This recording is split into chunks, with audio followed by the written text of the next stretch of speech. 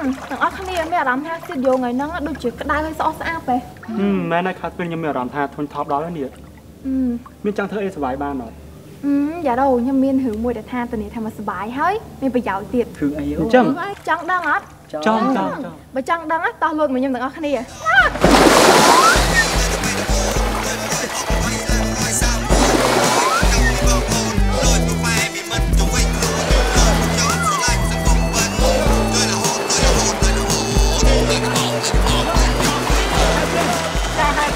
កហ្នឹងជាការងារសុបាយហើយទទួលបានផលប្រយោជន៍ណាខ្ញុំមិនមែនមានន័យចឹងហីយ៉ាដូតែឥឡូវយើងទៅមើលរឿងភាគយើងសិនចាំពេលយើងមកវិញណាយើងទៅមើលថាតើការងារណាដែលសុបាយហើយមានផលប្រយោជន៍ទៀតយើងទៅទស្សនាទាំងអស់គ្នា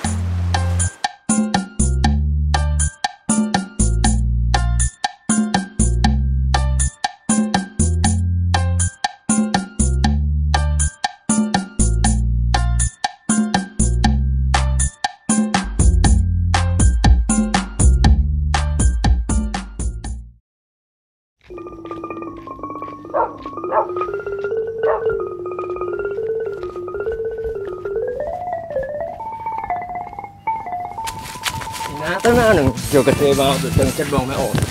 តែឆ្ងាយពីខ្ញុំហ៎ឲ្យបងទៅណាមិនអត់ស្អប់ខ្លួនស្រាបងហ៎ប្រយ័ត្នខ្ញុំស្រែកស្រាយើស្រាទៅបែកព្រៃក៏អត់លឺដែរអូនម៉េចជួយផងម៉េចជួយផងនឹងយើងឡើងថាសួរមួយគ្នាដែរពីបងតែឆ្ងាយពីខ្ញុំហ៎បងទៅណាបងស្រឡាញ់ខ្លួនឯងយូរណាពីបងជួយផងជួយផង ស្រាទេមានអ្នកគេលឺទេលើកយ៉ាងយើងភ្លាមយើងដាក់បណ្ដាស្អែង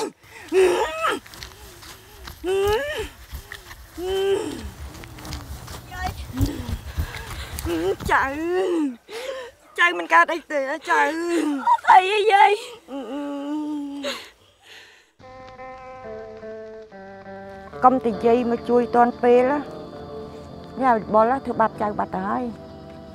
ខ្ញុំនិយាយក៏គ្មានអ្នកគេជឿខ្ញុំដែរហើយបើខ្ញុំទៅប្តឹងគឺមានតែនាំទុកដល់ខ្ញុំហើយនឹងពុកតែប៉ុណ្ណោះភូមិនេះគ្មានសេចក្តីសុខសម្រាប់យាយទេអ្នកភូមិហ៎គេចង់និយាយយ៉ាងម៉េចគឺស្រេចទាំងគេចោះយាយហ្នឹងមិនខ្វល់ទេអរគុណយាយ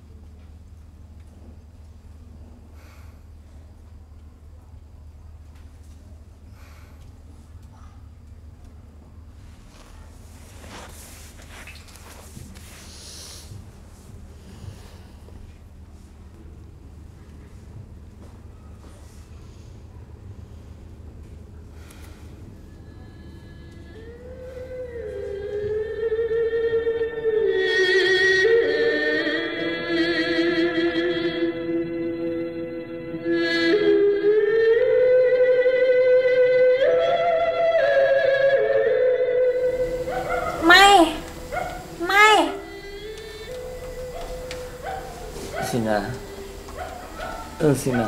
ស៊ីណាចាក់ទឹកឲ្យពុ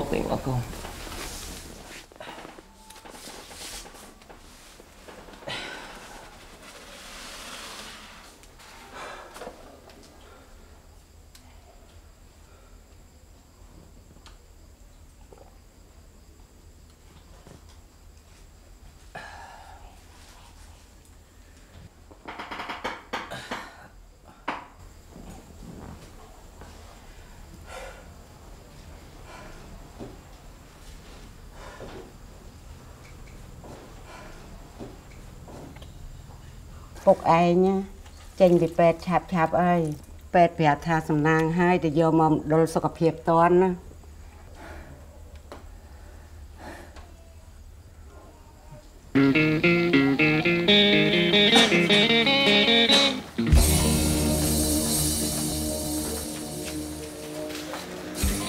ស៊ីណាពងធឿនណាគ្រាន់តិចនៅខ្ញុំអត់ដឹងរឿងអីទេណាខ្ញុំមិនឈិនឡងកំពុងតែបិទស្រា ស្រាប់តែអង្បលឲ្យខ្ញុំដាក់ស្អីគេទេខ្ញុំអត់ដឹងថាធ្វើឲ្យអ្នកផាក់ឈឺអញ្ចឹងសោះនឹងក៏អត់ប្រយោជន៍ដែរឥឡូវវាធ្វើអីស្រេចតែចិត្តគេ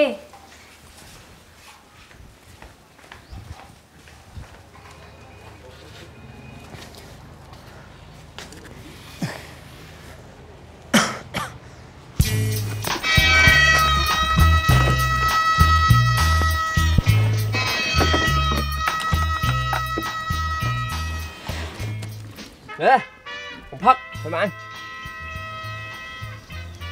Chỉ đó nè, sắp ra đằng khá nè Xẻ xó nữa á Thôi phục kê trừ À, cái đàn cho chỗ đây đây vơi គេនាំគ្នាចោលជីដួលហ៎បង À, mình oi để cái trao chị đua nó Này, gì chứ á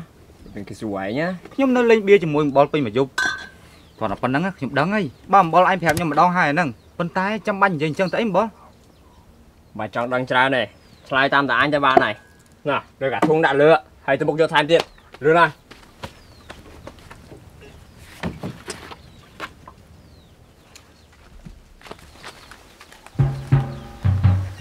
មែនអញ្ចឹងនឹងធ្វើមកទេបើគេមិនតាន់ប៉ះពាល់ខ្លួនយើងផងហ្នឹងកុំបាននិយាយដួលមកជួយតណាកុំអីចប់អីរឿងដល់ថ្នាក់ហ្នឹងណាគួរប្រាប់ចាស់ចាស់ហើយប្រាប់ណាគេប្រាប់ពុកគ្នាហ្នឹងប្រាប់ម៉ែគ្នាអេហើយប្រាក់ម៉ែរឿងអីហ្នឹងកូនហឹមស៊ីណាឯងធ្វើនេះត្រូវហើយរឿងបែបនេះណាគួរតរាយការណ៍មកដល់សាលាឃុំទៅបាន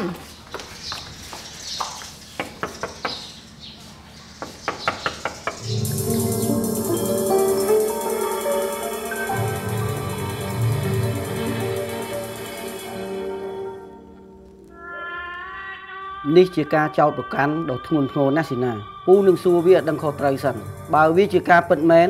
ពូនឹងដោះស្រាយវាទៅតាមផ្លូវច្បាប់ ហើយឯងត្រូវទៅតាមយាយរំដួលមកឲ្យលឿនស្មានឯងបាទជួយទូរស័ព្ទហៅវាបុលឲ្យខ្ញុំបន្តិចបាទលោកពូ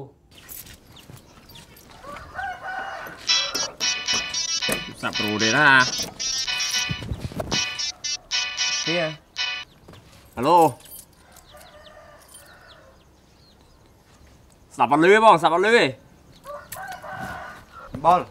មានរឿងអីហ្នឹង Sủa trớn mà, mà ពូយប់មិញខ្ញុំឃើញយាយព្រោះដាក់ដាក់ដាសាគេទៀតហើយមាត់ហើយជីអូជីអូមិនត្រូវណាគេទៀតទេនៅចាំអីទៀតទុកឲ្យអ្នកស្រុកឈឺដល់ណាទៀតដេញហើយគាត់ចេញណាវាត្រូវតែចឹងរឿងហ្នឹងគួររាយការណ៍ឲ្យអាជ្ញាធរដែនដីអត់បាច់រាយទៅដេញចេញបាញ់ចាពូមកទៅទៅមកយប់ហ្នឹងដល់ផ្ទះយាយនឹងចាមកពូមក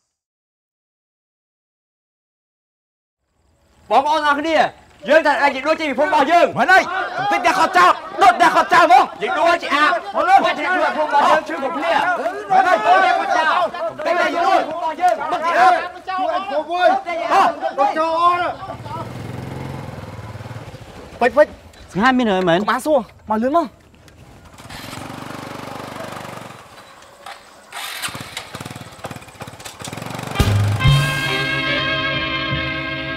យាយនិយាយដូចលើផ្ទះអត់យាយ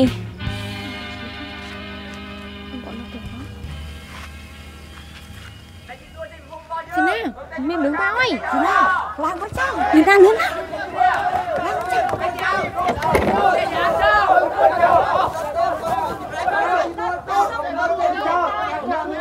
បងប្អូ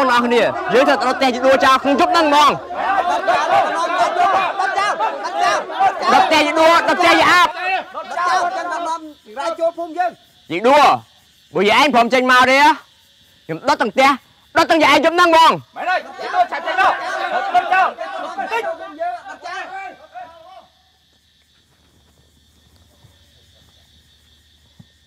ស្បែកជើងរបស់ស៊ីណានៅនេះមិនមែនតែអាប់ចាស់ទេមានទាំងអាប់ក្មេងទៀត ឆាប់ចេញមកអាប់ក្មេងបើចង់សុកខ្លួនបើថាអាប់ក្មេងព្រមចេញមកទេដុតទាំងអាប់ចាស់អាប់ក្មេងយប់ហ្នឹងហ្មងច្រឡំកាន់ច្រឡំអញបាទបងបើឈប់បើសិនជាឯងហ៊ានប៉ាស៊ីណាម្ដងទៀតមិនថាយើងមិនបានប្រើឯងចង់មិនហ៎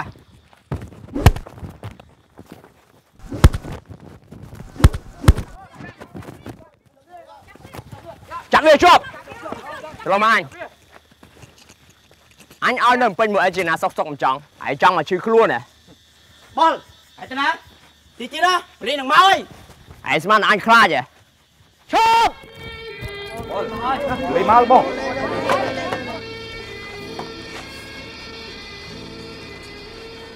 ពួកឯងដល់ថ្នាក់ហ្នឹងផងហើយខ្ញុំមានធ្វើអីទេពូងៀម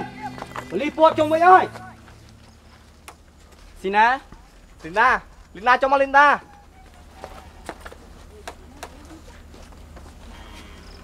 អត់អីទេណាអីទីណាទីណាកូនកាត់អីអត់ណាហាអីទៅចាំមើលម៉ៃសុំមើលតិចមើល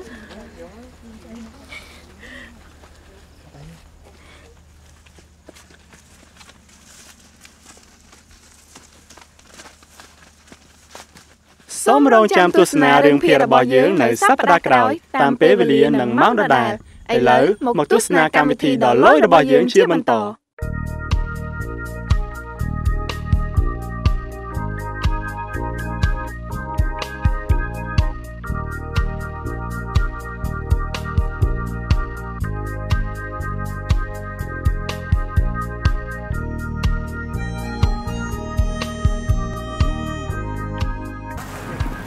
ហើយខាត់ទេខ្ញុំមានអារម្មណ៍ថាស្រស់ស្រាយមែនតើពេលបានមកដល់ឆ្នេរសមុទ្រចឹងណាខ្ញុំប្រាប់ឲ្យតែថាការងារមានប្រយោជន៍ឲ្យសុបាយទេរមិនចឹងខ្ញុំយល់ពីអីដែលខាត់ទេខ្ញុំប្រាប់ខ្ញុំពីដើមកម្មវិធីហើយប៉ុន្តែខ្ញុំឃើញថាមានសម្ញាំច្រើនណាស់នៅឆ្នេរនេះហ៎ព្រោះតែអញ្ចឹងហើយបានយើងជាមួយនឹងអ្នកស្ម័គ្រចិត្តម៉ាអ្នកនងគ្នាជួយសម្អាតឆ្នេរទាំងស្អាតហ្មងណាបាទការធ្វើការងារជុំគ្នាពិតជាមានសារៈសំខាន់ណាស់ត្រូវអត់ចាតែឥឡូវយើងងាកមកជួបទស្សនិកជនយើងសិនបាទជំរាបសួរទស្សនិកជនអរគ្នាស្វាគមន៍មកកាន់កម្មវិធីឡយ9ចា ខាត់ទេអញ្ចឹងយប់ហ្នឹងយើងមានអីចែកជូនដល់មិត្តយូរអ្វីយើងអត់អឺយើងមានច្រើនណាស់ប៉ុន្តែអត់ទាន់ប្រាប់យ៉ារ៉ូមួយទស្សនិកជនទេព្រោះថាហើយស្នាមមកផឹកហត់អីអញ្ចឹងអូទៅរកឡើងអង្គុយសុបោសិនតាបាទតោះ យ៉ារ៉ូនិយាយពីការងារស្ម័គ្រចិត្តចឹងយើងដូចក្រោយគេមកចាហ៊ានមកទេអញ្ចឹងក្រោយណាគេឪអឺបេក្ខជនលុយមុន Super Hero យើងកាលពីវគ្គមុនណោះពួកគាត់មិនចូលរួមស្ម័គ្រចិត្តដែរអូត្រូវហើហើយយចាំមើលនៅយប់ហ្នឹងថាបន្ទាប់ពីការស្ម័គ្រចិត្តណាពួកគាត់នឹងធ្វើឲ្យគេទៀតបាទចាខាត់ទេយើងមានវគ្គវគ្គអីទៀតអត់អឺ យើងនឹងទៅមើលសកម្មភាពរថយន្តលុយមួននៅខាងស្ទឹងត្រែងចង់ដឹងថាសប្បាយដូចយើងមកកហ្វតអត់អញ្ចឹងហ៎បាទហើយមានវគ្គអីទៀតទេបន្ទាប់ពីការយើងស្ម័គ្រចិត្តមកញោះបាទយើងនឹងទៅមើលថាតើការស្ម័គ្រចិត្តហ្នឹងមានសារៈសំខាន់មិនខ្លះបាទហើយជាពិសេសយើងមានវគ្គពិសេសពិសេសជាច្រើនទៀតដើម្បីចែកជូនដល់មិត្តយូរអ្វីយើងចាអញ្ចឹងកុំឲ្យរងចាំយូរយើងចាប់តាមកម្មវិធីយើងហ្មងបាទ Catherine បើនិយាយពីការងារស្ម័គ្រចិត្តចឹងណាខ្ញុំមានចងល់មួយចង់សួរ Catherine ឯងតាក់ទងនឹងរឿងភាពរបស់យើងណាចងល់អីគេយ៉ាដូខ្ញុំឃើញថាស៊ីណាព្យាយាមជួយយាយដួលដល់អស់ពីសមត្ថភាពដោយមិនបានគិតពីផលប្រយោជន៍ក្នុងឯងផ្ទាល់ទេតែគាត់ធ្វើនៅដើម្បីអីទៅខ្ញុំអត់ច្បាស់ដែរប៉ុន្តែឥឡូវយើងទៅមើលឈុតខ្លីត្រូវនឹងម្ដងទៀតមើលស៊ីណាលីនដាលីនដាចុះមកលីនដាស៊ីណាអត់អីទេណាអី ទីណាទីណាកូនកាត់អីអត់ណាហាអីទៅចាំមើលម៉ៃសុំមើលតិចមើលយ៉ាដូឃើញថាស៊ីណាគាត់ជួយយាយដួលហ៎មើលទៅខំរយយុទ្ធធរយាយដួលហើយមើលទៅហ៎ខេតវិញអញ្ចឹងនឹងជាការងារស្ម័គ្រចិត្តអត់អឺខ្ញុំគិតថាជាការងារស្ម័គ្រចិត្តប៉ុន្តែខ្ញុំអត់ប្រកាសដែរយល់អយើងទៅឲ្យអ្នកស៊ើបអង្កេតយើងដោះស្រាយចម្ងល់យើងទាំងអស់គ្នា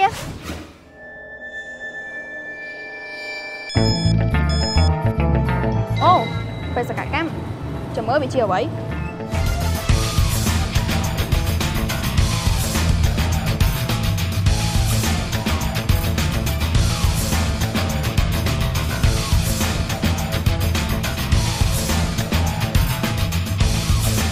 នៅនៅទីនេះណាមើលទៅហាក់ដូចជាកំពុងតែរវល់ខ្លាំងណាស់ពួកគេកំពុងតែធ្វើការងារផ្សេងផ្សេងគ្នា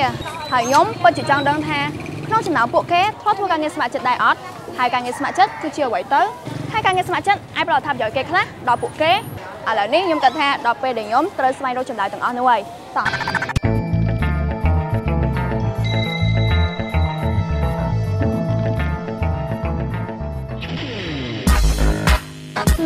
ឃើញថាស្អាតស្អាតខាងនោះដូចជាមានសេចក្តីសុខនៅកាហ្វេរបស់គាត់ដល់ហើយជមើខ្ញុំទៅសួរគាត់ស្ដី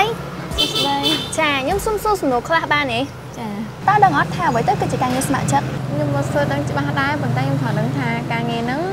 គឺជាការងារដែលជួយដល់កម្លាំងកំព្រានៅក្នុងអង្គការណាមួយដោយមិនបានប្រាក់កម្រៃមកវិញទេហើយការងារហ្នឹងគឺល្អសម្រាប់សង្គមណាហឹមខ្ញុំគិតថាចង់ចូលរួមក្នុងការងារហ្នឹងដែរប៉ុន្តែខ្ញុំមិនដឹងថាត្រូវទៅចូលរួមនៅកន្លែងណា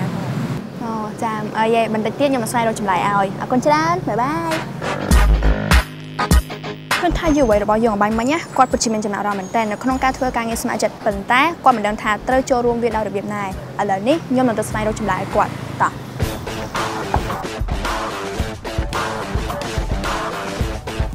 មានគេប្រាប់ខ្ញុំថានៅក្នុងភូមិនេះក្មេងៗអាយុក្រោម18ឆ្នាំមិនអាចទិញស្រាបានទេហើយចង់ដឹងថាវាគឺជាការពិតអត់ហើយវាកើតឡើងដោយរបៀបណាតោះទៅស្វែងរកទាំងអស់គ្នា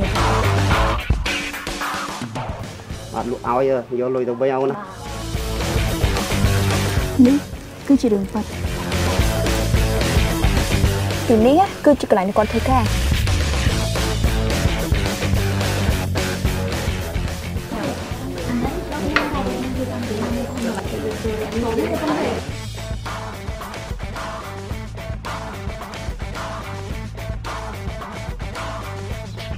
អូនសួស្ដី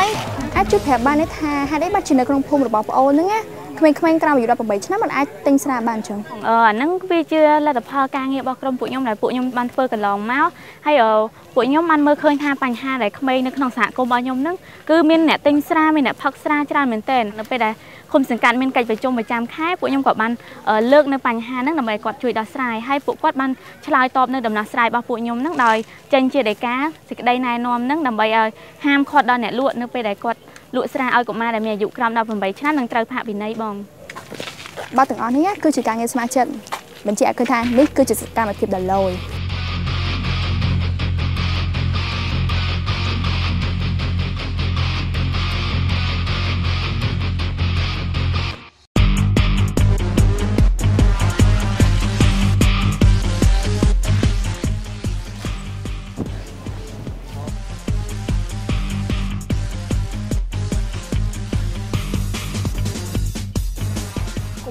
ការចូលរួមរបស់បរិសដើម្បីបញ្ឈប់អំពើហិង្សាលើស្ត្រីហឹមអរគុណច្រើនអត់អីសួស្ដីបង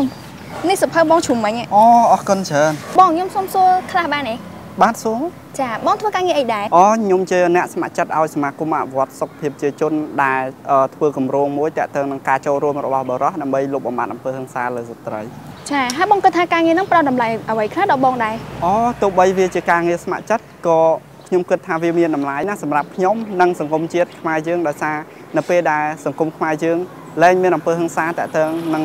អំពើហិង្សានេះហើយគឺធ្វើឲ្យសង្គមយើងកាន់តែរីកចម្រើននិងប្រសើរឡើងចាអរគុណច្រើន ឃើញថាបងប្រុសអំបញ្ញមិញណាពិតជាលយមែនតើគាត់បានធ្វើការងារស្ម័គ្រចិត្តដោយជួយស្ត្រីដែលរងគ្រោះដោយអំពើហិង្សាវាស្តៀងទៅនឹងការងាររបស់ស៊ីណានៅក្នុងរឿងភាគរបស់យើងអញ្ចឹងមានន័យថាស៊ីណាក៏ធ្វើការងារស្ម័គ្រចិត្តដែរមានន័យថាការងារស្ម័គ្រចិត្តមានច្រើនរូបភាពឥឡូវនេះដើម្បីឲ្យកាន់តែច្បាស់អំពីការងារស្ម័គ្រចិត្តតោះទៅជុំអ្នកជំនាញរបស់យើងទាំងអស់គ្នា